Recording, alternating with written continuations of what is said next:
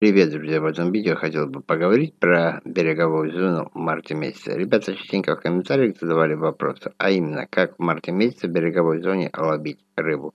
Как на реке, так в заливе или затоне. Об этом я и расскажу в этом видео. О ряде ошибок, которые рыбаки частенько допускают в марте месяце, ловя рыбу в береговой зоне. Частенько допускают. Допускают почти каждый пятый рыбак. То ли не знает, то ли игнорирует все это дело. Ну, в итоге потом э, пробурив вторую, третью, двадцатую лунку, в итоге остается без рыбы по полной программе. Даже когда погода позволяет питаться и ассортимент насадок уже большой, в принципе, все вроде бы есть, все условия позволяют, то есть только лови и радуйся.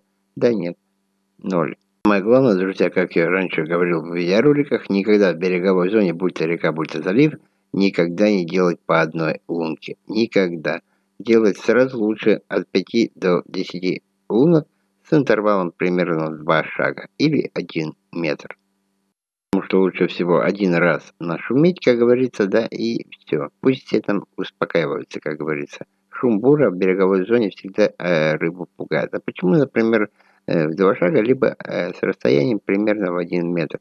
Многие рыбаки делают еще одну, не менее интересную и весьма распространенную, так сказать, ошибку – ну, через каждое, это 30 э, сантиметров, максимум полметра начинает бурить лунки решетить. Ну, давайте, друзья, не будем забывать, что, как говорится, чем больше мы в одном месте шума понаделаем, тем хуже это будет в дальнейшем для клёва. Самого, даже когда погода, в принципе, позволяет питаться рыбе. То есть, э, полметра это очень, в принципе, маленькое расстояние надо делать чуть-чуть побольше, хотя бы в метр или полтора, чтобы как можно больше охватить акваторию водоема. Сильно близко лунки друг к другу делать не надо. Да еще вдобавок ко всему, многие рыбаки это самое, достают снег и лед при помощи бура в самой-то береговой зоне. То есть, шваркнув пару раз туда вверх-вниз, выдергивая шугу из лунки. В итоге каждая вторая лунка будет засвечена, если не каждая третья. И это еще один минус. И до меня, друзья, все никак не доходит. Бывает, когда я смотрю, когда рыбаки в марте месяце делают э, лунки в береговой зоне. То есть лунку сделал одну, к примеру, да, буром ее прочистил, так что она светленькая, и бросил прикормку. Опа-на!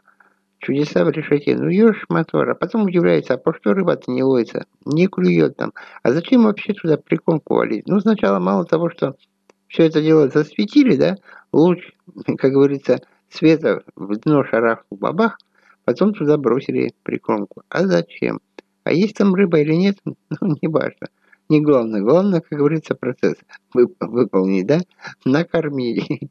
Кого? А если там нет никого? Ну зачем прикормки сразу валить? А вот что никак до меня это не доходит. Мало того, что все засветили, так еще и прикормку израсходовали.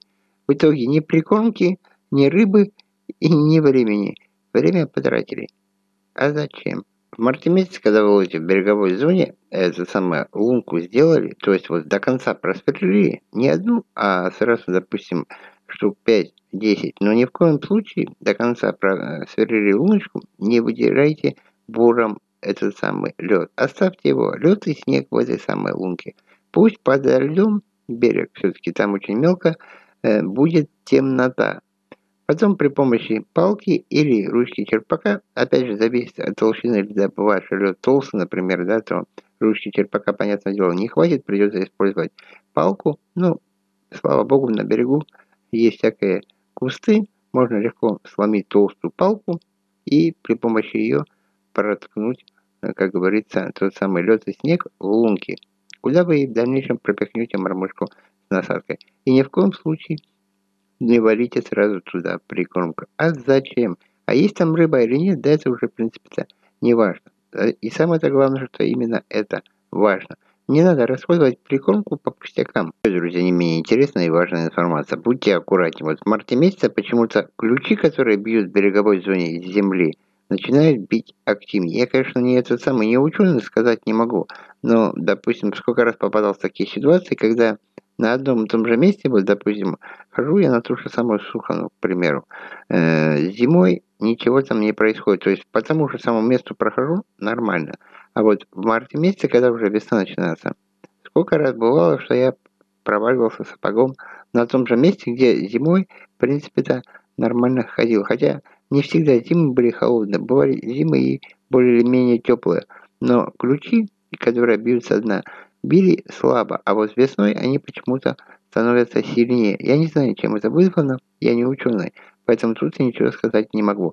Будьте аккуратнее, случайно не провалитесь на этих, как говорится, ключах. Они бьют как на реках, так и в стоячих водоемах, заливах или затонах каких-то. Но по весне ключи становятся сильнее, они сильнее бьют. Температура ключа куда теплее, чем температура воды в реке или в заливе или затоне.